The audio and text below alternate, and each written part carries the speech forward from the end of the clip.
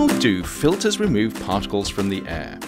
It's tempting to think of air filters as microscopically small versions of kitchen sieves which block large particles from getting through while letting small ones past. As we'll see though, this picture is rather misleading. Many types of air filters are made from tangled bundles of fine fibres. Together, these create narrow, convoluted pathways for the air to pass through them. For the really large particles, these filters actually do behave a little bit like a kitchen sieve by physically blocking the particles from getting through. But this is pretty much where comparisons with sieves end. To understand why, imagine for a moment a car speeding along a winding road. The car fits easily on the road, but if it's going too fast, it won't be able to navigate the bends, and you just know that at some point it's going to crash. It's the same for small particles speeding through an air filter.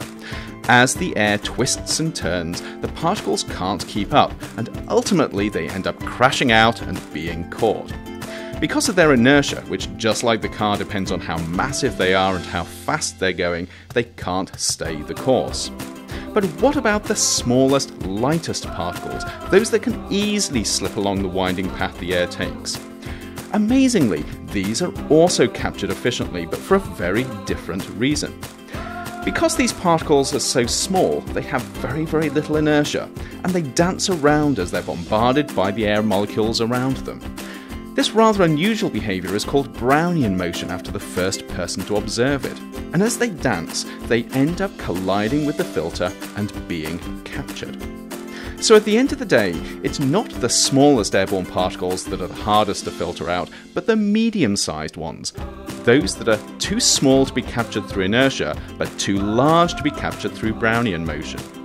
And this is why, when manufacturers design and test air filters, they don't use the largest particles or the smallest ones, but they use the middle sized ones.